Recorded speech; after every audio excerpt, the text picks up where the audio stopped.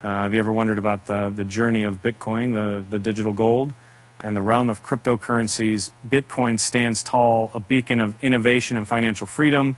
Its price, like a roller coaster, has seen its share of twists and turns, but one thing remains constant its allure. And one day, Bitcoin found itself on a quest to conquer $58,000. It surged forward, breaking through resistance levels like a warrior breaking through enemy lines. But then it encountered far formidable foe with 57,005. Uh, Bitcoin paused, consolidating to gains like a boxer catching his breath.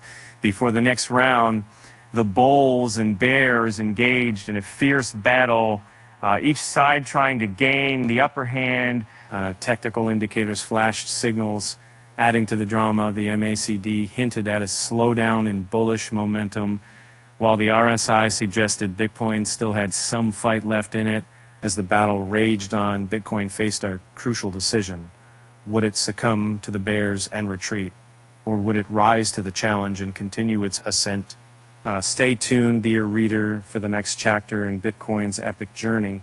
Will it reach its goal of $58,000, or will it falter and fall? And here's a joke to lighten the mood. Why did Bitcoin cross the road to get to the blockchain? And with that said, Thanks for watching, and until next time, keep your eyes on the Crypto Prize.